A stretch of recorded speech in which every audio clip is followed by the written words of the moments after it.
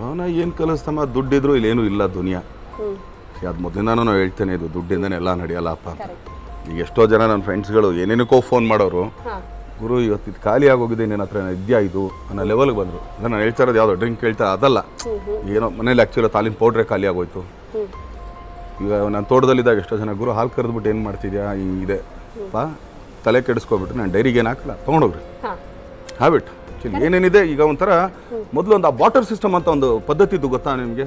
ನಾನು ಹೇಳ್ತಾ ಇರೋದು ಒಂದು ಇನ್ನು ನಾಣ್ಯ ಅಂತ ಹುಟ್ಟೋದಕ್ಕೂ ಮುಂಚೆ ಇದ್ದಿದ್ದು. ಅಂದರೆ ನೀನು ಅಕ್ಕಿ ಬೆಳೆದ್ರೆ ನಾನು ಬೆಳೆ ಬೆಳಿತೀನಿ ನಾನು ಅಕ್ಕಿ ಕೊಡ್ತೀನಿ ನೀನು ಬೆಳೆ ಕೊಡು. ಈ ಥರ ಪದ್ಧತಿ ಲಾಕ್ಡೌನಲ್ಲಿ ನಡೆದೋಯ್ತಮ್ಮ. ಯಾವಾಗಲೂ ಇದ್ದಿದ್ದು ಇದು ಈಗ ನಡೆದೋಯ್ತಲ್ಲ ಅದು?